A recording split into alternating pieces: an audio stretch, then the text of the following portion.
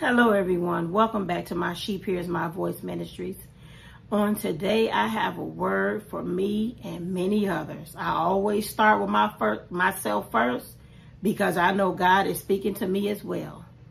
And the word that God gave me as I was writing yesterday, He told me, He said, we so faithful to leadership, but we're not faithful to God. We're faithful to leadership, but we're not faithful to God. And in Exodus 20 and verse number 3, the word of God says, Thou shalt have no other God before me. And that means that we don't put nothing and nobody before God.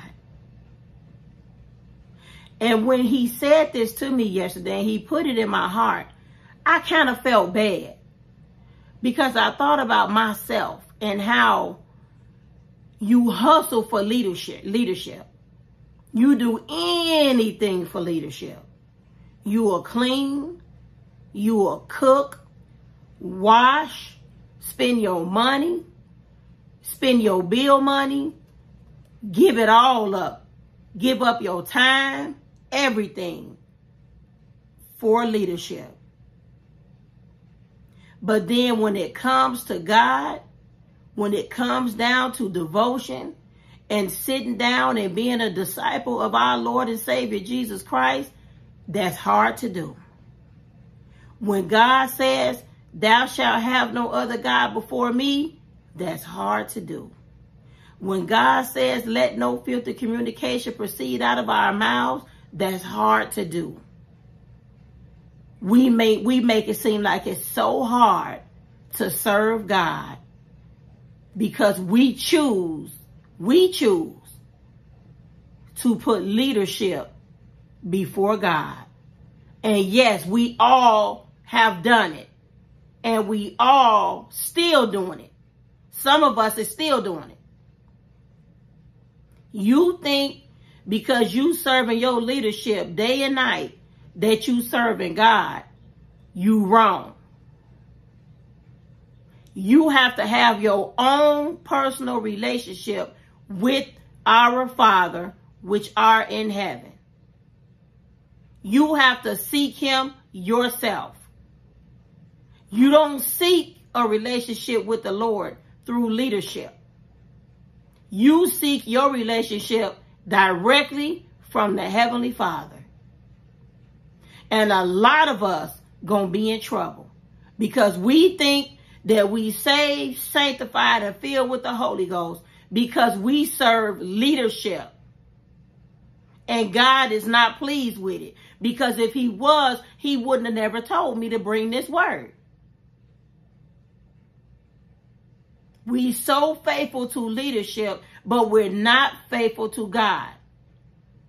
And we're going to have to answer to that because it's in his written word in Exodus 20 and 3, thou shalt have no other God before me. God's, little g, God's before me. We don't put leadership before God. On no day through the week do we put leadership before God.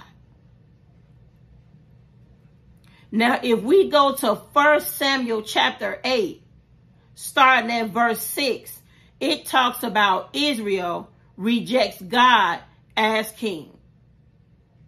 And that's exactly what we do. We reject God when we serve in leadership to the point of exhaustion.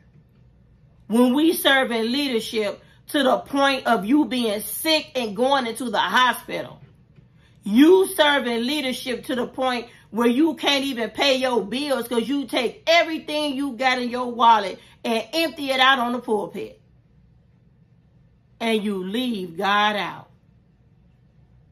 You're not serving God when you sit there and empty out everything out your wallet on the pulpit. How is that serving God? So let's go to the word because this word is very, very, very important. And we need to pay attention to it. Include me first. Because we're going to have to answer to God why was he on the back burner and why was leadership first? We're going to have to answer to that. So if you're doing it, you might want to repent of doing that. Because don't nothing and nobody come before God. Not your spouse, not your children, not leadership, not your grandkids, don't nobody, nobody on this earth comes before our Father which are in heaven. Israel rejects God as king. 1 Samuel chapter 8 verse 6. But the thing displeased Samuel when they said, give us a king to judge us. So Samuel prayed to the Lord. So the people mumbling and grumbling, we want a king to judge us. We want somebody over us. And just because they couldn't see God, they feel like that God ain't real. So we want a tangible king over us. We want somebody over us that we can see. Because we want to praise him and worship him. That's what they wanted to do. And the Lord said to Samuel, heed the voice of the people and all that they say to you. God was saying, give them what they want then. Because see, God not going to fight with us. Give them what they want, Samuel. When Samuel was in prayer to the Lord, when he went before, when he went to God for these people that was complaining, for Israel that was complaining, saying that they wanted a king over them, God said, give them what they want. For they have not rejected you, but they have rejected me, that I should not reign over them. So they didn't reject Samuel as God chosen vessel. They was rejecting God. See, that's what they that's what they failed to realize. They was rejecting God. And in some cases, God do send pastors out and real prophets and teachers out to help and to serve in his kingdom. And when God has sent these people out that he chose and you reject what they telling you because God works through these people, his chosen.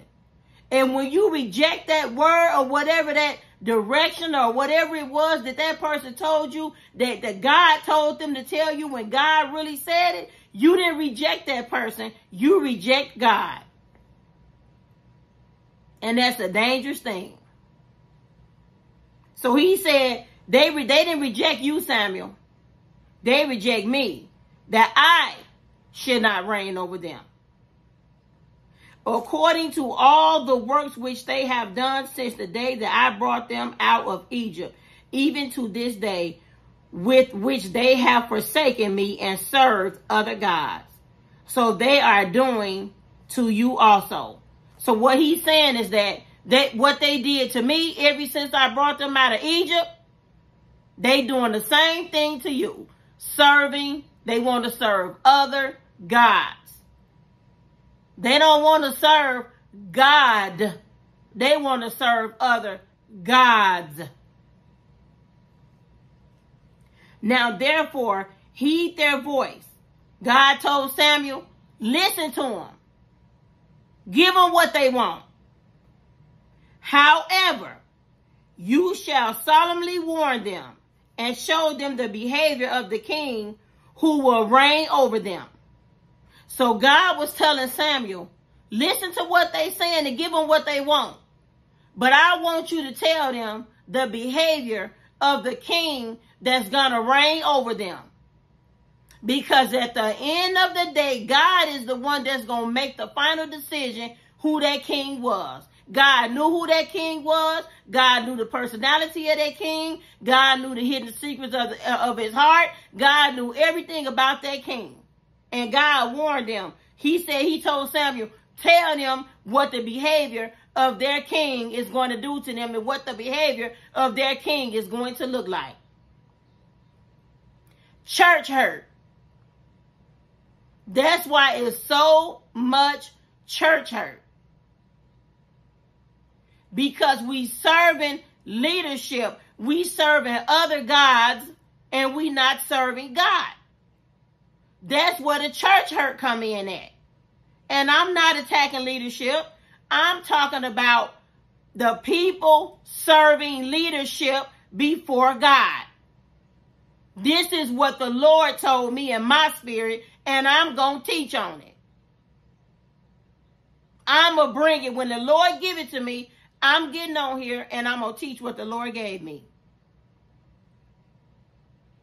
And he said, we faithful to leadership, but we're not being faithful to God. And he's right, because I was doing it too.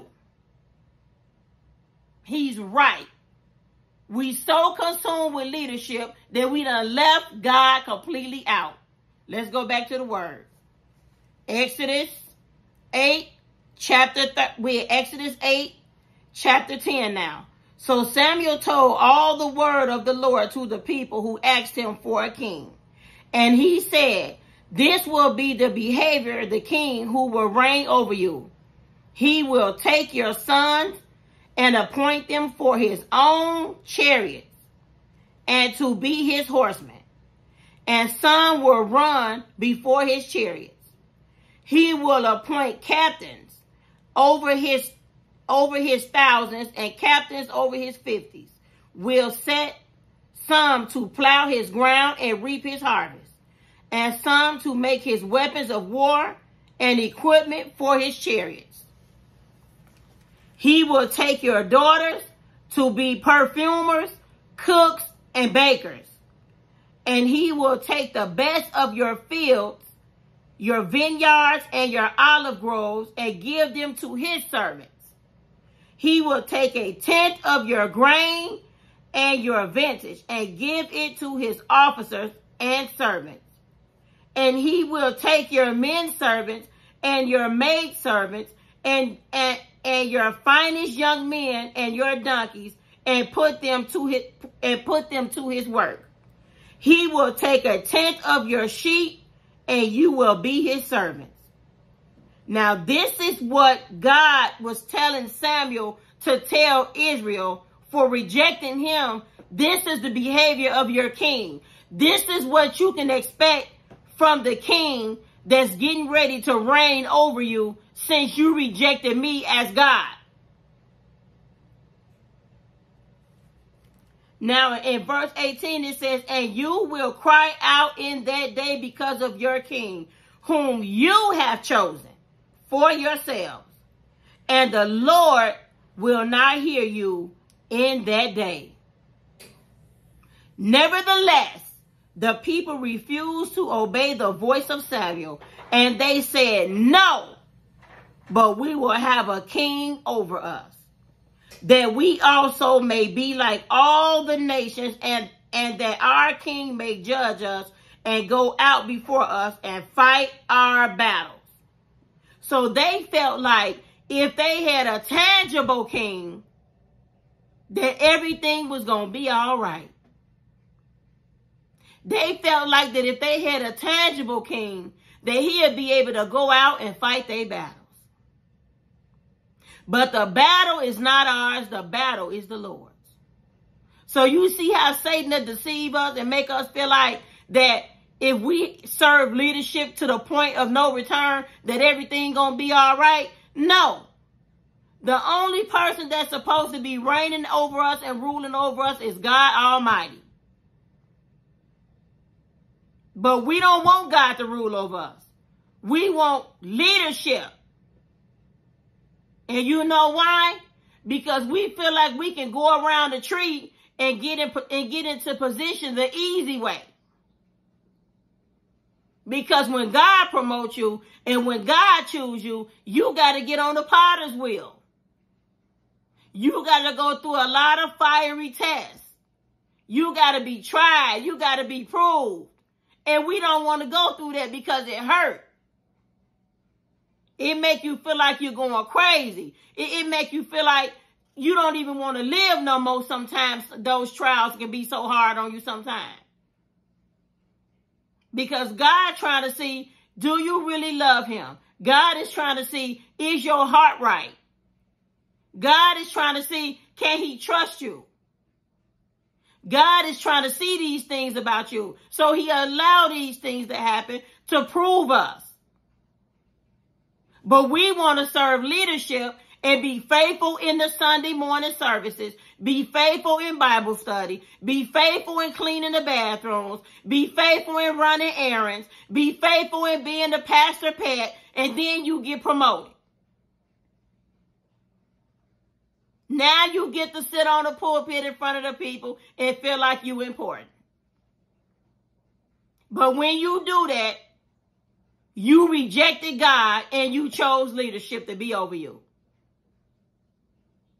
And when you get hurt, then you want to get on your knees and cry out to God about the things that you feel that's being how you being treated, but you chose that. We chose that. We chose the lead, we chose for leadership to promote us instead of God. And we forget that leadership is still human Leadership have fallen short of the glory of God, just like we have. Leadership have to drink water, just like we do. Leadership have to eat, just like we do. Leadership is not superhuman. Leadership still get angry. Leadership still have a bad day. Leadership still have to pray, fast, and seek the Lord for themselves. So what make leadership so much better than you? The person that we supposed to be seeking out is God. But we not doing that. God sent his only begotten son here on this earth to help us and show us. But we still reject Jesus too. Because we want to serve leadership. And as I said, I'm not attacking leadership. I'm coming on here and I'm teaching what the Lord told me to. And he said it clear. We so faithful to leadership, but it's hard for us to be faithful to God. And he was talking to me first. Because sometimes I don't want to get sit down and study. Sometimes I don't want to fast. Sometimes I don't feel like praying. But then you will make sure that you get up and you at church on Sunday. You will get up and make sure that you have Bible study. You'll get up and make sure you go to work so you can have your offering and tithes and stuff for the, to make sure so the pastor can see you put that in the offering basket. You could be sick. You'll get up and do whatever the pastor asks you to do or, or the first lady asks you to do. You'll get up and do it. You can be sick and you will still get up and move around. But we won't even throw our bodies out the bed and get on the floor and right there beside the bed and pray. Laying in the bed, we won't even get our Bibles and lay right there in the bed and still study while you're laying. You're not feeling good in the bed. You still can sit there and study the word. Laying right there in the bed, not feeling good. You still can talk to the Lord. Then you see somebody walking down the street homeless. They they ask you for a dollar. No. But you go right to church and put seven hundred dollars in on the offering plate. And you see that this person hungry and ain't got nothing. Even if they did go buy alcohol with the money, they asked you for it. You had it. And you said no. When you could have blessed them with a cold pop, a hamburger, a bag of chips or something. And gone on about your day. You did your part. If they go buy alcohol with it, that's on them. But God saw that one of your brothers and sisters that's walking this earth was in need and you went in your pocket and you gave it to them. It's not for you to, to micromanage the money when you give it to them. Well, I'm going to give you this $10, but you bet not go spend it on no alcohol. Uh-uh, it don't work like that. If they ask you for something and you giving it to them from your heart, you give it to them and you go. It's not for you to start fussing at them and telling them if you're going to start fussing and talking, start telling them about salvation. Ask them, do they know Jesus Christ? Is they saved? Is you seeking out the Lord? That's what you should be asking them, not telling them how to spend the money. And that's what God sent me on here. I believe in my heart. He told me to get on here and bring it. We so faithful to leadership, but we reject God. And if we doing that, take inventory of your own self. And if we doing that, we need to repent. And we need to ask the Father to help us not to do this anymore. And to show us when we get into the point where we putting leadership before God. And that was the word that the Lord put in my heart. And I hope that this bless somebody that they will sit down and take time and think about their actions and what they do and be truthful with yourself. If you doing it, don't put leadership before God. I'm not saying that it's wrong to be there and do things. But what I'm saying is that where we going wrong at is when we put leadership before God. God is first. And sometimes you might have to tell leadership, no, I cannot do it because God told me this, that, and the other. See what I'm saying? God is first. And sometimes you have to tell leadership, well, God told me. If God really told you, then you have to tell them. But if you so, so serving leadership to the point where you scared to open up and tell them what thus says the Lord, then you you you the main one that's putting leadership before God. And I love you, and I'll see you again next time. God bless you.